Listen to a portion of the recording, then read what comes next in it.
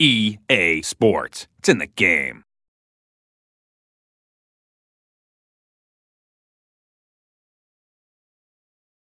One player who is no stranger to tweeting is the 2010 PGA Tour Rookie of the Year, Rickie Fowler. Now, as you might expect for a kid who grew up right here in Southern California racing motorcycles, he likes to move in the fast lane. But don't be fooled. For all Rickie's need for speed, he's just as comfortable unwinding at home between tournaments. So I like, you know, anything that is extreme, fun, and gets the adrenaline going. This is a racing helmet. This is actually a Christmas present from my dad. It's got a little bit of everything. Got my Pistol Pete on the front.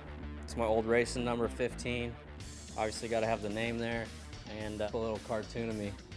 Golf was always my main focus. Uh, riding was kind of backseat. I just did it more for, for fun and when I had free time. But uh, the real turning point was uh, I broke my foot in three spots and blew out my left knee a bit when I was 15.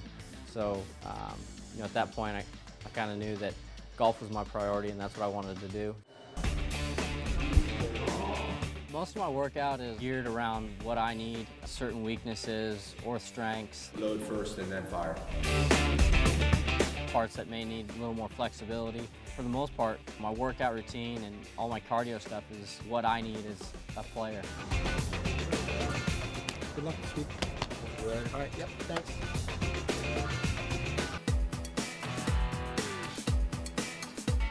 Right now we're just kind of hitting a few shots here at Augusta, having some fun. Now that I'm on the game, I just play as myself. Even better practice, I get to see myself in the moment.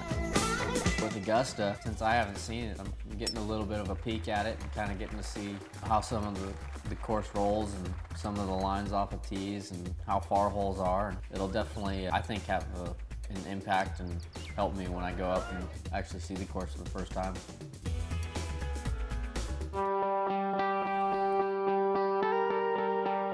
My grandpa used to pick me up when I was preschool, kindergarten, basically every Wednesday, and just uh, switched off between going to play golf and fishing.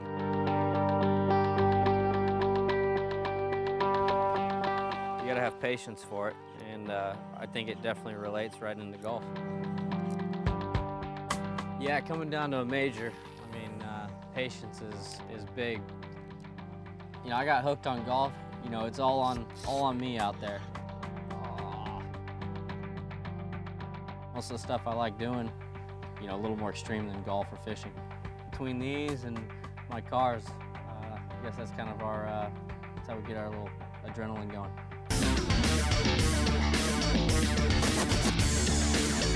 All right, I'm off to the track. Thanks for coming. We'll see you guys later.